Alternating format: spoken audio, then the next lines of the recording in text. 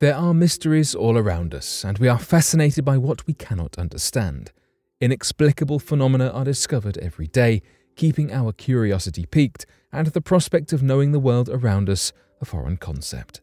So today, here at Unexplained Mysteries, we'll be exploring three interesting discoveries, exploring the vast dark corners of the universe, its ancient galaxies, and the possibility for life on Mars.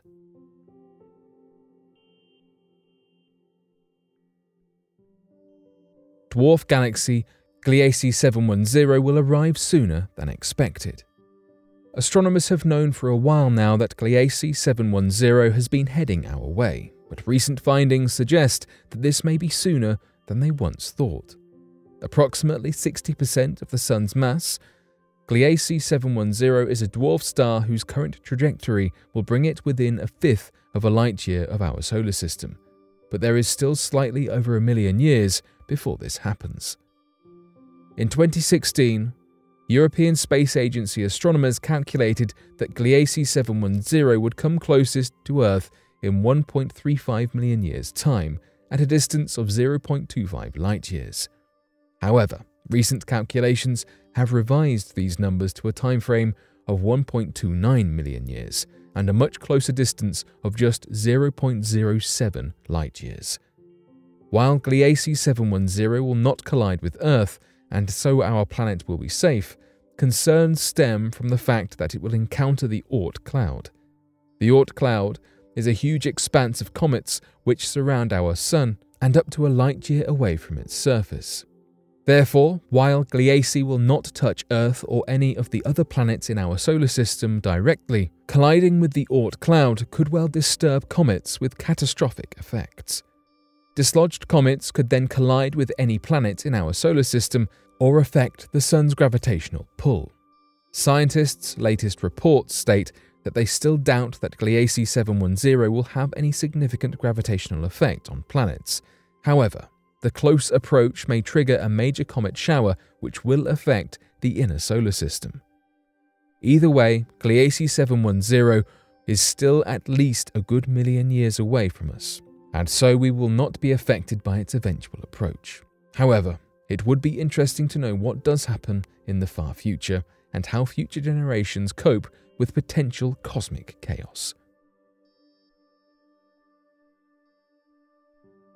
Elon Musk's first human colony on Mars would have to survive on a vegan diet. It could not be anything more like a movie. Elon Musk recently announced that future Martians will survive by growing their own food in solar powered hydroponic glass dome farms.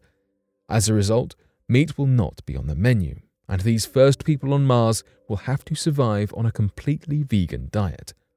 Musk does say, at least for the moment, that it will likely only be the first 100 people on Mars who are limited to fully vegan cuisine owing simply to the extremely high levels of power which will be required to run and maintain the self sustaining farms, combined with the obviously limited resources.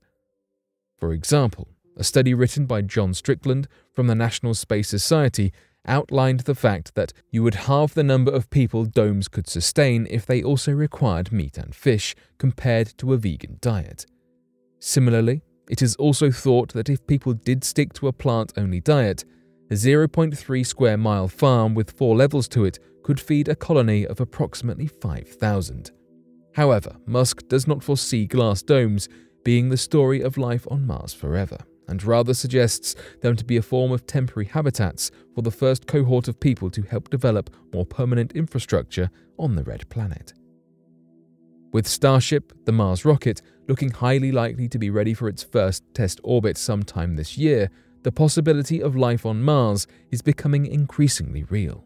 Therefore, preparing for other logistical details, such as how to then survive once you have reached Mars, will be the next groundbreaking research needed in the field to continue expanding our horizons, quite literally.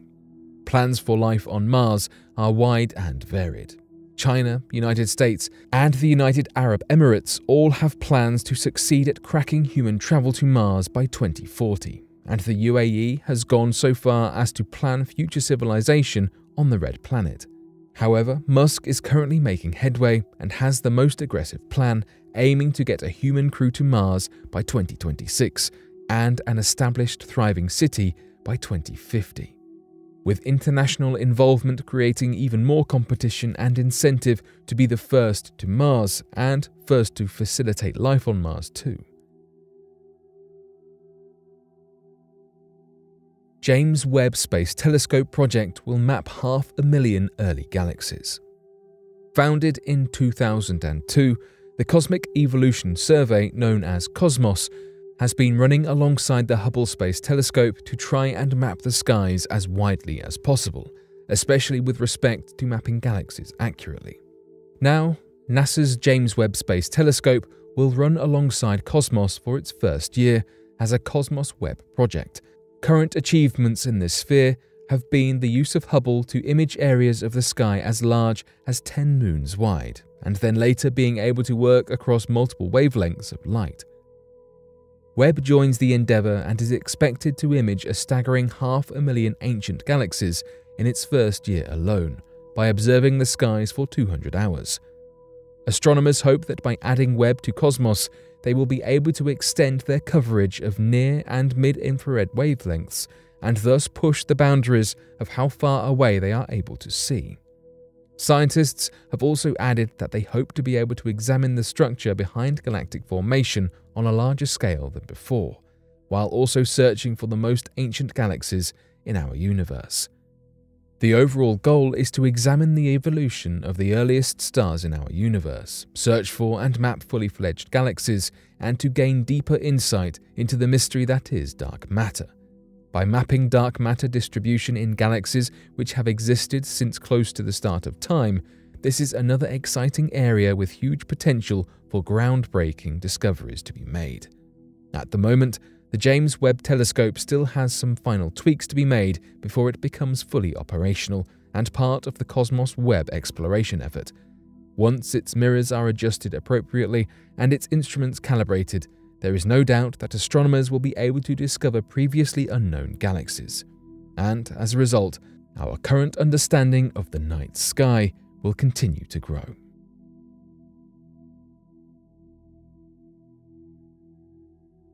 But what do you make of these outer space discoveries? Be sure to let us know your thoughts in the comments section below and help us by growing this community while working to solve these unexplained mysteries.